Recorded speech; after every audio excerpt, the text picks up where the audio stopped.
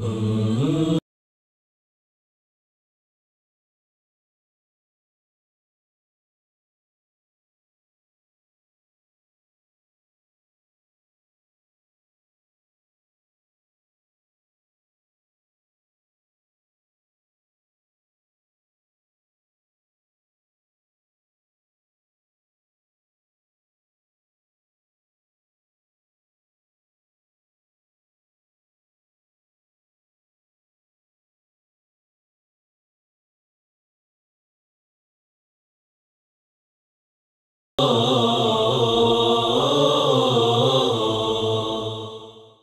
أعوذ بالله من الشيطان الرجيم. بسم الله الرحمن الرحيم.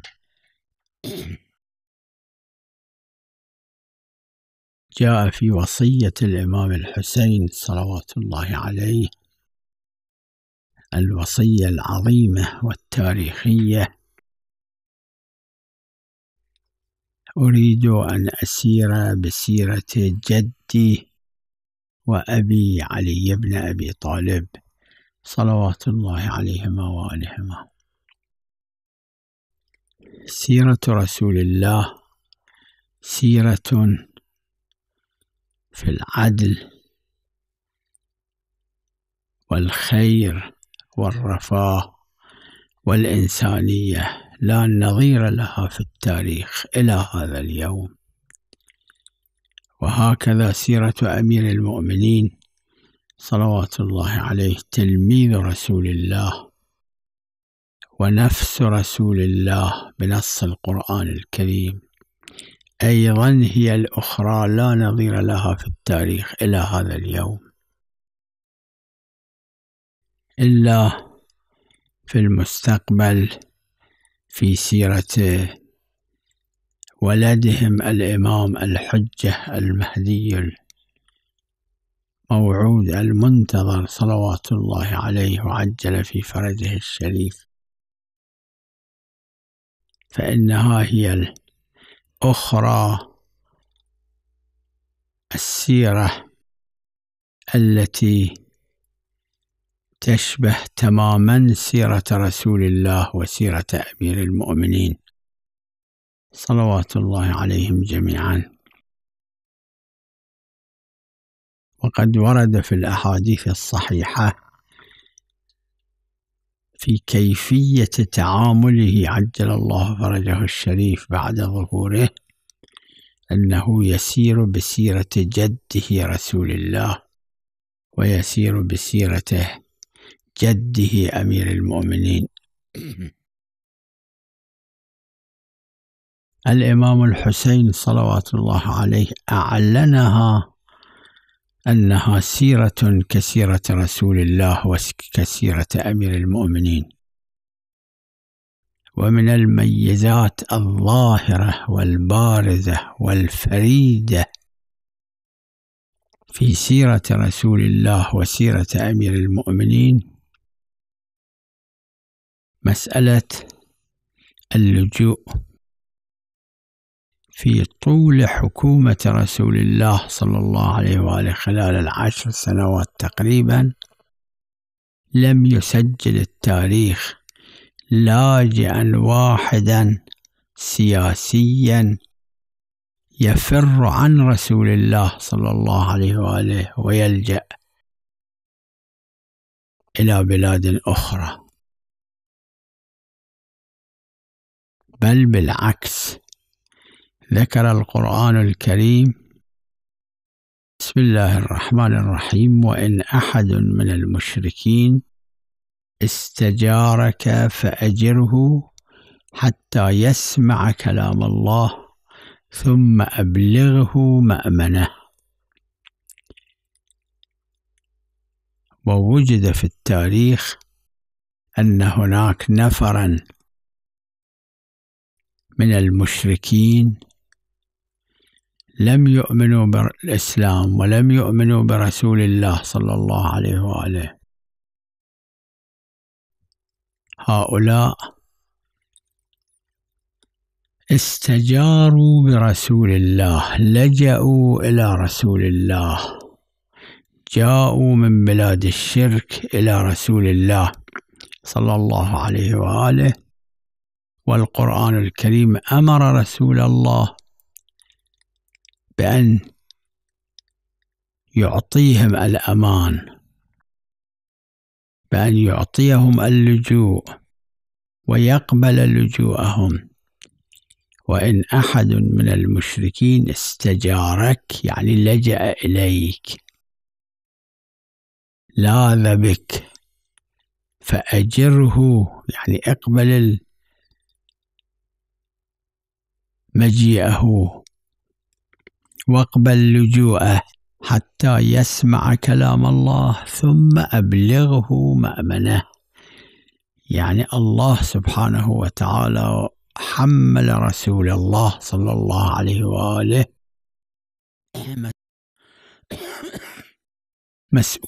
مسؤوليتين. المسؤولية الأولى قبول اللجوء.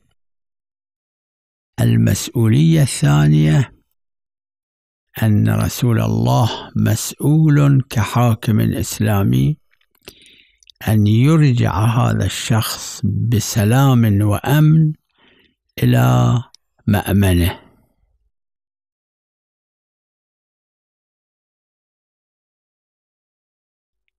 فأجره حتى يسمع كلام الله ثم أبلغه مأمنه. وبعض هؤلاء نتيجة لجوئهم من بلاد الشرك إلى رسول الله صلى الله عليه وآله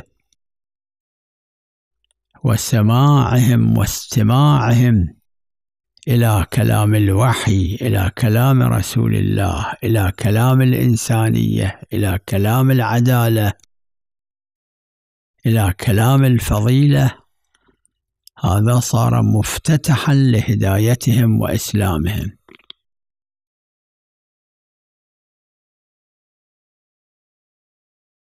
وإذا يوجد اليوم في بعض البلاد غير الإسلامية قبول اللجوء هذا مأخوذ من رسول الله صلى الله عليه وآله ومن أمير المؤمنين صلوات الله عليه.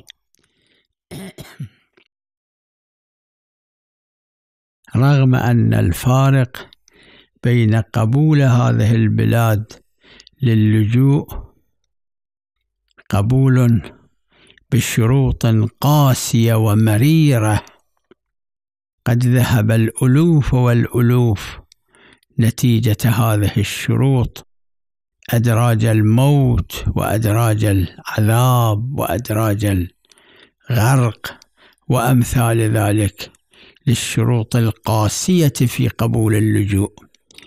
مع أن رسول الله صلى الله عليه وآله لم يشترط أي شرط للجوء وصريح القرآن الكريم وإطلاق الآية الشريفة في القرآن الكريم أنه لا شرط هناك للجوء وهذه الشروط القاسية المؤسفة للجوء في هذا العالم اليوم. هذا تطاول على إنسانية الإنسان مع شديد الأسف.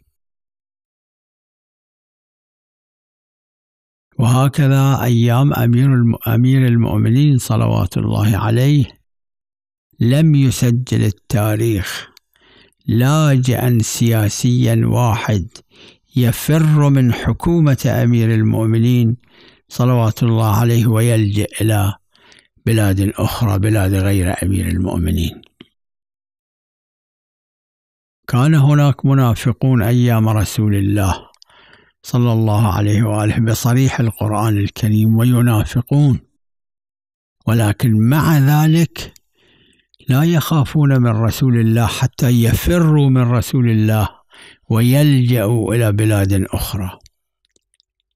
حتى مثل حاطب ابن بلتعة ونظرائه من المنافقين والجواسيس الذين كانوا يتجسسون على الإسلام وعلى المسلمين وعلى شخص رسول الله صلى الله عليه وآله في الأمور الحساسة ومنها في الأمور العسكرية وفي الأمور المرتبطة بالحرب السرية جدا جدا. وكان ينكشف تجسسهم ومع, ومع ذلك لم ينقل أن أحدا منهم فر عن رسول الله إلى بلاد الشرك. هذا حاطب ابن بلتعة الذي فضحه القرآن الكريم. ورسول الله صلى الله عليه وآله كان ينوي أن يذهب إلى فتح مكة بكل سرية. واطلع هذا وكتب رسالة إلى المشركين في مكة يخبرهم بعزم رسول الله. هذا العزم العسكري السري جدا جدا. ثم بعد ذلك رسول الله صلى الله عليه وآله بعث أمير المؤمنين وأخذ الرسالة من المرأة التي كانت تحملها إلى المشركين في مكة المكرمة ولم يعاقب حاطب ولم يخف حاطب من رسول الله. بهذا التجسس العظيم الذي لا يوجد في أي نظام في التاريخ مثل هذا التجسس إلا ويحكم عليه بالإعدام فورا ويعدم عملا. ولكن رسول الله لم يصنع شيئا حتى يخاف حاطب من رسول الله ويفر من رسول الله. إلى مكة أو غير مكة المكرمة. وقد ورد في الأحاديث الشريفة أن شخصا من المشركين في ظرف حساس جدا سأل أمير المؤمنين سؤالا الظرف الحساس ظرف أن المشركين كانوا نقضوا العهد مع رسول الله صلى الله عليه وآله وكان رسول, رسول الله صلى الله عليه وآله يستعد للحرب الدفاعية مع المشركين حيث قال سبحانه وتعالى فإذا انسلخ الأشهر الحرم فاقتلوا المشركين الأشهر الحرم كان الجاهلية يحرمون القتال فيه فيها. ورسول الله صلى الله عليه وآله أقر هذا القانون. وكان لا يقاتل في الأشهر الحرم. القرآن الكريم أقر ذلك. ونزل في القرآن الكريم أنه نتيجة لنقض المشركين. عهودهم ومواثيقهم مع رسول الله صلى الله عليه وآله وابتدائهم الحرب ضد رسول الله. القرآن الكريم أمر رسول الله بالحرب الدفاعية بعد نهاية الأشهر الحرم فإذا انسلخ الأشهر الحرم فاقتلوا المشركين. إذا لأن المشركين هم نقضوا العهود والمواثيق. ففي هذا الظرف الحساس ورد في الحديث الشريف أن أحد المشركين سأل أمير المؤمنين صلوات الله عليه بعد انسلاخ الأشهر الحرم وأمر الله سبحانه وتعالى نتيجة نقض المشركين العهود والمواثيق مع رسول الله. أمر الله تعالى رسول الله بقتل المشركين سأل المشرك أمير المؤمنين في هذا الظرف الحساس إذا بعض المشركين أراد أن يلجأ إليكم هل تقبلونه؟ فقال أمير المؤمنين صلوات الله عليه نعم أين يوجد في التاريخ مثل هذا؟ يا شباب المسلمين يا شباب غير المسلمين الواعين ابحثوا التواريخ.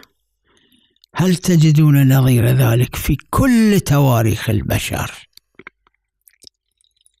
المشركون نقضوا العهود والمواثيق والأشهر الحرم انتهت التي كان القتال فيه فيها حراما. وإذن خاص من رسول من الله سبحانه وتعالى لرسوله بقتال المشركين بانسلاخ الأشهر الحرم مشرك عابد أصنام يسأل أمير المؤمنين في مثل هذا الظرف الحساس أنه إذا يلجأ إليكم شخص هل تقبلونه؟ فقال أمير المؤمنين صلوات الله عليه نعم وقرأ هذه الآية الكريمة. وإن أحد من المشركين استجارك فأجره. حتى يسمع كلام الله ثم أبلغه مأمنه.